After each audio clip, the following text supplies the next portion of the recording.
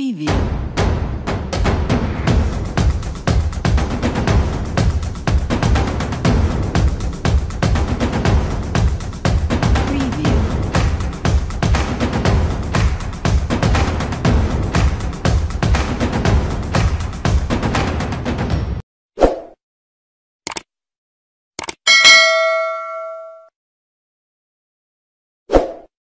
Kính chào quý vị và các bạn. Ngày hôm nay chúng ta sẽ cùng lại gặp lại nhau mà đến một trong những cái chủ đề rất mới, một trong những chủ đề thì có lẽ mình có nghĩ rằng rất là hot đối với những cái người mà tham gia cũng như là tìm hiểu về một cái chủ đề này đó là cái chủ đề mà các bạn à, đi sang Nhật Bản du học. Một cái chủ đề mới đó là cái chủ đề mà chúng à, các bạn quan tâm, đó là cái chủ đề các bạn có thể à, muốn sang Nhật Bản để lao động, muốn sang Nhật Bản để thừa đi các nghiệp đoàn hoặc là các công ty mà họ cung cấp cũng như là thu hút nguồn nhân lực ở tại Nhật Bản này thì đây là một trong những cái chủ đề rất là hot ờ, trong thời gian vừa qua mình à, thấy rằng là từ là từ tháng 4 năm 2019 thì chính phủ Nhật Bản cũng như là à, Bộ Lao động của Nhật Bản đã ban bố một cái à, điều lệ à, cấp thêm một cái loại visa mới đó là visa tục t tục t Gino đây là một trong cái visa mới và cũng rất là rất là thu hút à, với những cái bạn trẻ đến từ các nước châu Á hoặc là các nước Đông Nam Á mà trong đó có Việt Nam chúng ta. Thì ngày hôm nay ấy, chúng ta sẽ gặp lại À, một người bạn của mình hiện tại đang ở Việt Nam là một giáo viên à, dạy ở các trung tâm à, Nhật ngữ ở Việt Nam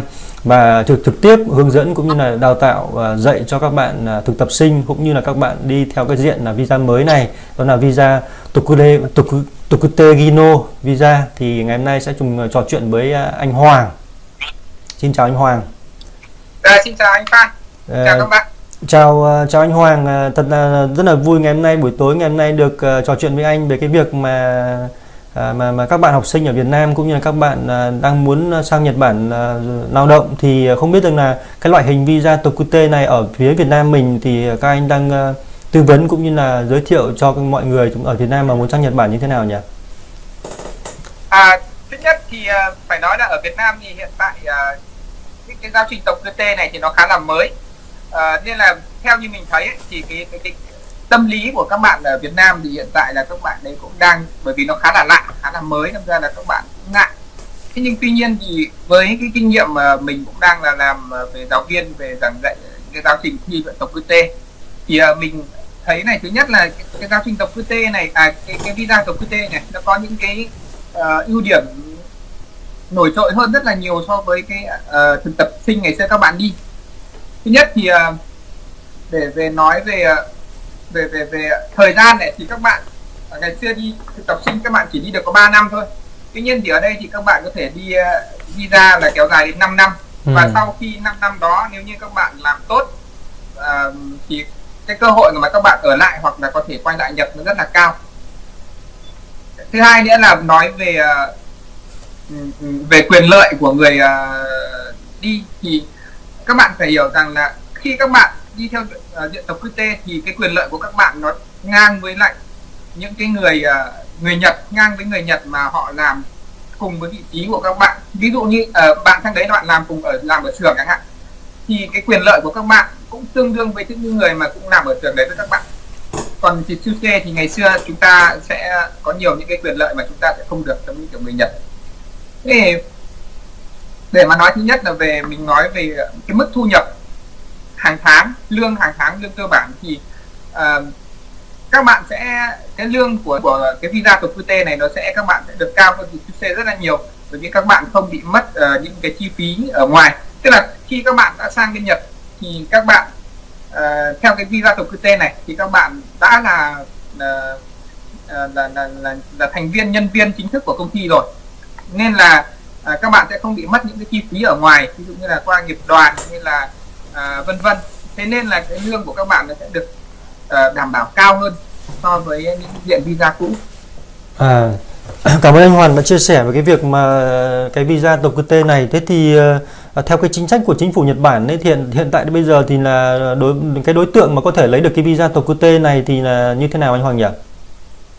À, theo như mình biết ý, thì à, một là những bạn đã từng đi Nhật về rồi thì các À. bạn sẽ được ưu tiên dễ hơn thứ nhất là ví dụ như à, các bạn sang theo diện thực tập sinh chẳng hạn thì à, sau khi các bạn quay lại ấy, nếu như các bạn quay lại theo đúng ngành nghề của mình ví dụ như ngày xưa các bạn đi theo ngành xây dựng hay là đi theo nhà hàng khách sạn ở bên đó chẳng hạn sau khi các này các bạn quay lại và các bạn đi theo diện tộc QT này thì nếu như các bạn đi đúng theo cái ngành mà mình đã từng làm ở bên đó thì uh, trong cái thời gian nào 3 năm nhỉ? Hơn 3 năm. Trên 3 năm thì các bạn sẽ không phải trải qua cái kỳ thi uh, kỹ năng cũng như là thi tiếng nữa mà các bạn sẽ được uh, xét dễ dàng hơn rất nhiều. À thế thì ờ, tốt quá nhỉ. Thế thì cho em hỏi là cái cái thì thi cái kỳ thi mà năng lực tiếng Nhật đấy của cái visa Tokute này thì có quy định là thi vào thời gian nào không? Hay là cái này thì do, do bộ giáo dục ở bên Nhật Bản họ quyết định uh, anh Hoàng? À, cái này thì thật ra là về cái kỳ thi tộc QT ấy, thì uh, tức là chúng ta sẽ có hai khi mà các bạn đi theo cái diện tộc QT này này thì các bạn sẽ phải thi hai cái kỳ thi. Một là tiếng Nhật các bạn phải đạt trình độ N4 trở lên. Thì uh, theo như mình biết thì hiện tại là đang là theo thi uh, thi, thi, thi GLBT tuy à. nhiên thì uh, có vẻ như là những cái thông tin gần đây mình biết thì bên Nhật họ đang đang đang xem xét để có thể là ngoài kỳ thi GLBT chúng ta có thể thi những cái cuộc thi khác bởi à. vì là GLBT một năm nó chỉ có 6 hai lần thôi thì họ cũng đang xem xét để thông qua những cái kỳ thi khác tức là những cái chứng chỉ của kỳ thi đấy uh, những cái kỳ thi đấy vẫn được chấp nhận uh, để uh, các bạn uh, đi thi uh, các bạn uh, đi theo cái diện tập QT này à cái câu hỏi uh, thứ ba nữa mà nữa. à vâng, mời anh anh cứ nói tiếp à, còn một cái thứ hai nữa là cái thi về uh, kỹ năng nghề à. kỹ năng nghề thì hiện tại thật ra là ở bên Nhật thì họ đã thông qua việc là uh, tổ chức những cái kỳ thi ở bên uh, các nước khác. À. ví dụ như ở Việt Nam chúng ta là cũng đã được thông qua rồi. Tuy nhiên thì do cái việc mà chính phủ Việt Nam của chúng ta chậm trễ trong việc đưa cái kỳ thi tộc QT này vào trong kỳ thi trong nước. Cho nên là ở thời điểm hiện tại thì để các bạn đi thì bắt buộc là các bạn vẫn phải sang bên uh, Nhật để để thi. Tuy nhiên thì mình nghĩ là trong thời gian tới sau khi mà ở Việt Nam họ tổ chức được cái kỳ thi về kỹ năng này ở Việt Nam thì các bạn uh, hoàn toàn sẽ không bị mất cái khoản uh, đi sang Nhật để thi cái kỳ thi uh, kỹ năng nữa. À thế thì cũng như thế cũng tốt nhỉ? Tạo điều kiện cho cái việc đấy là rất là hợp lý. Thế thì uh, có một cái hỏi câu hỏi nữa rằng là uh, các bạn thực tập sinh đang thực tập uh, cũng như là làm việc ở tại Nhật Bản thì có chuyển sang được cái loại visa đặc định này không thưa anh Hoàng? Các bạn thực tập sinh à? Ừ.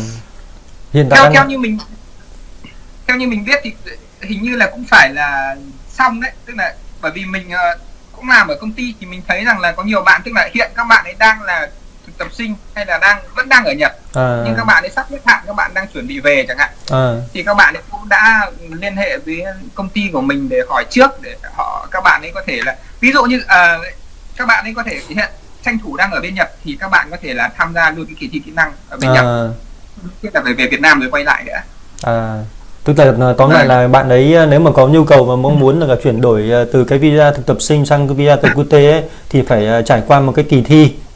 À, nếu mà bạn đỗ cái kỳ, kỳ thi đó thì là bạn có thể vào vào trực tiếp và có thể chuyển đổi từ cái visa thực ờ, không phải về Việt Nam nữa mà cho cứ cứ ở lại Nhật sau đó thì là sang cái công ty mới hoặc là chuyển qua cái visa thực quốc tế đúng không? Vâng đúng như vậy. À, thế thì cũng rất là tốt. À, trong cái quá trình làm việc như thế thì anh thấy rằng cái, cái cái loại hình visa mới này thì nó có những cái nhược điểm như thế nào trong cái việc mà các bạn ấy sang Nhật Bản nếu mà đi qua cái diện Tokute Gino này? thật ra thì nói về nhược điểm thì mình chỉ thấy có một cái đó là bởi vì là cái ưu điểm cái quyền lợi của bạn các bạn được nhiều hơn rất nhiều so với những cái diện visa cũ à. cho nên ngược lại là họ sẽ cái vấn đề là thi cử ví dụ à. thi thi tiếng là các, họ sẽ yêu cầu cao hơn là phải cần N4 này và các à. bạn phải trải qua cái kỳ thi kỹ năng thôi ừ. tuy nhiên thì uh, theo như mình biết ấy, thì uh, bởi vì bây giờ cái kỹ năng cái cái cái visa này là cái mới ừ. và người Nhật bên chính phủ Nhật thì họ vẫn đang ưu tiên tức là khuyến khích để cho uh, các bạn chuyển sang đi theo loại hình visa này cho nên là cái việc thi và đỗ visa của các bạn ở thời điểm hiện tại thì theo như mình quan sát thì cái tỷ lệ nó rất là cao à. tức là họ họ họ vẫn chưa siết chặt. Giống như kiểu là ngày xưa chúng ta đi du học cũng vậy tức là mới đầu thì họ sẽ sẽ sẽ tạo điều kiện cho mọi người đi rất là dễ. Đấy còn sau này thì mình cũng chưa biết được. Sau này thì có lẽ là khi mà nó bão hòa thì nó sẽ khó hơn. Thế nhưng ở thời điểm hiện tại nếu như các bạn bạn bạn uh, chịu khó học tiếng một chút thôi thì hoàn toàn là các bạn có thể uh, đi được khá là theo mình là khá là dễ dàng. À thế thì tốt quá nhỉ như này thì là cũng sẽ có rất là nhiều người ờ, quan tâm về vấn đề này bởi vì ờ, đi nó cũng dễ. Thứ hai là à, cái loại hình này nó cũng mang lại về cái kinh tế tốt hơn với đồng lương nó sẽ cao hơn so với thực thực tập sinh. À, nhiều bạn thực tập sinh ở bên này đôn cũng có rất là nhiều lên những cái page như kiểu à, của cộng đồng người Việt ở Nhật Bản này thì người ta cũng kêu la rất là nhiều. Tức là trong bọn em đi làm ngày 8 tiếng có khi là 10 tiếng à, một tháng làm đủ làm đủ 26 giờ 20 24 tiếng à, 24 ngày à? 24 ngày 22 ngày mà đâu đó lương chỉ có khoảng độ gần chục man có khi là chỉ được một chục man thôi trong cái đó thì nó phải chi trả tiền nhà tiền điện. À, đấy là một trong những cái tình trạng mà à, đi làm như thế thì không khác gì ở Việt Nam cả. Việt Nam mình bây giờ ở các thành phố lớn như Hà Nội hay thành phố Hồ Chí Minh thì cái lương tháng đang dao động khoảng độ từ 10 10 10 triệu đến 15 triệu là rất là nhiều đúng không? Nếu như các bạn mà đi làm được khoảng 7 à, tiết kiệm được khoảng 7 7 7 man 7 man đến 8 man tương đương khoảng 14 15 triệu tiền Việt Nam thì nó cũng không khác gì ở Việt Nam cả. Cho nên là nếu mà đã sang một đất nước phát triển thì tất nhiên là cái đồng lương nó phải phát triển lên, đúng không? Đây mình lại ờ, là bình bình thì không được. Cho nên là cái môi trường cũng như là một cái loại hình visa mới này đưa ra thì cũng là rất là tốt và hợp lý cho các bạn. Thì ờ, trong cái loại hình visa này thì theo anh Hoàng là ờ, và chính phủ Nhật thì đưa ra mấy cái loại visa đặc định nhỉ? Có một hay hai cái hay sao? Ờ, bây giờ họ đưa thì mình cũng không nắm rõ chính xác được là nó có toàn tất, cả là bao nhiêu uh, ngành thế nhưng có những cái ngành mà nó thông dụng hiện tại bây giờ là người ta hay mọi người đang đang quan tâm đó là ví dụ ngành nhà hàng này Yeah. khách sạn này thực phẩm ừ. rồi một ngành số ngành khác như xây dựng vân vân có một cái nữa mình muốn nói thêm ở cái uh, visa cư tê này cái quyền lợi rất là hay của các bạn đó là ngày xưa nếu như các bạn đi theo diện uh, siêu xe tập sinh đấy. Ừ. thì uh, ví dụ như các bạn phải may mắn tức là sang bên đó các bạn vào được công ty tốt thì các bạn uh, ok. Nhưng khi không liệu không may các bạn uh, gặp được công ty hay là những cái nghiệp đoàn làm ăn không tốt chẳng hạn họ họ họ họ uh, trả lương cho mình không xứng đáng chẳng hạn thì các bạn phải chịu. Tuy nhiên thì ở diện uh, visa siêu xe này khi kể cả trong quá trình mà các bạn đang ở đó làm và nếu như các bạn không muốn làm ở công ty của mình thì các bạn hoàn toàn có quyền uh, tìm kiếm những công ty khác để các bạn chuyển sang với cái quyền lợi nó tốt hơn. Chứ không nhất thiết là chúng ta phải cứ phải may mắn uh, À. phải chịu theo công ty. Ở đấy loại hình đấy là một trong những cái điểm rất là rất là tích cực trong cái ờ, loại hình visa của QT này. Tức là ờ, chúng ta làm ở công ty mà lương thấp quá hay là nghiệp đoàn hay công ty cái cơ sở mình đang làm việc nó ép nó gò bó nó ép buộc hoặc là mình ờ, không chịu được áp lực có thể là à, nó áp lực quá đối với mình và mình mong muốn là tìm một công ty khác thì cái loại hình visa này có thể đáp ứng là chúng ta chuyển visa chuyển công ty nhưng mà vẫn giữ nguyên visa đúng không anh? dạ vâng như thế thì tốt quá nhỉ những cái gì là những những Vâng. cái mà mà ờ, cái ờ, loại hình tục QT visa mà mới này thì nó rất là rất là tốt và những cái ưu điểm đấy rất là tuyệt vời đối với những cái người mà mong muốn được sang Nhật Bản để mà mà làm công việc này đối với những cái bạn ấy Vâng. thì là quan tâm ấy thì hiện tại bây giờ nếu dụ trong trường hợp mà các bạn ấy thi đỗ L3 rồi thì có phải thi lại năng lực tiếng Nhật nữa không anh Hoàng? Đấy trong câu hỏi các bạn ấy muốn hỏi. À không tất nhiên là khi các bạn nếu đã có bằng chứng chỉ CLPT N4 đổ lên rồi thì các bạn không phải thi gì nữa cả. À không phải thi nữa. Cái bằng đó là có thể dùng ngay. Thì à, nếu như các bạn ờ, đi tức là một là các bạn ờ, đi quay lại nhưng các bạn đi trái ngành chẳng hạn. Tức là à, ví dụ như trước bạn đi nhà hàng nhưng bây giờ bạn muốn quay lại bạn đi đơn ờ, khách sạn chẳng À. hạn thì các bạn chỉ cần phải nếu như các bạn đã có bằng tiếng Nhật rồi thì các Ừ. bạn chỉ phải ờ, trải qua cái kỳ thi về kỹ năng nghề nữa thôi À, thế thì tốt quá nhỉ, như thế à, thì cũng đơn giản đấy đúng không? vâng. Chỉ cần ờ, mình Vâng. ờ, quyết tâm cũng như là rèn luyện ờ, cái ờ, tiếng Nhật nhiều lên để thi đỗ cái N4 hoặc là N3 thì là chúng ta sẽ có thể đi được rồi đúng không? Nó Vâng. nhưng mà còn một cái nữa là cái cái cái việc mà năng lực về nghề nghiệp ấy có phải ấn định là bắt buộc là phải phải theo một cái ngành nghề nào cố định trước trước khi chúng ta sang không hay là ờ, phải học tất cả mọi thứ ngành nghề khác nhau? à không tức là chúng ta chỉ ờ, trong cái giáo trình học ấy thì chúng ta chỉ học ờ, ví dụ chúng ta theo ngành nào thì chúng ta học ngành đó. À, ví dụ như các bạn học ngành nhà hàng thì nó sẽ có giáo trình ngành nhà hàng. À, và các bạn sẽ đi thi đi thi thì nó giống như kiểu đi thi trắc nghiệm thôi. À, à, tức là những cái câu hỏi về à, về về cái ngành đó. Thì à, thật ra như mình bản thân mình đang là một người à, giảng dạy về cái giáo trình độc cư tê này ừ, thì mình thấy là ờ, cái giáo trình của họ ấy, tức là nó, các, bây giờ ở tâm lý là các bạn nhiều bạn sợ.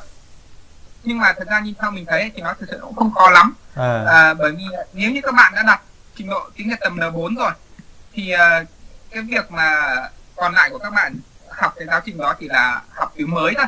Tức là à, những cái khái niệm về cái ngành đó rồi ví dụ như các bạn làm trong nhà hàng chẳng hạn các bạn sẽ học ờ, tìm hiểu qua về những cái tác phong làm chào hỏi khách hay là những cái xử lý khi uh, những cái tình huống ví dụ như có cháy hay là có cách bị dị ứng vân vân. À. Thực sự là cái đó thì nó cũng không phải là quá khó.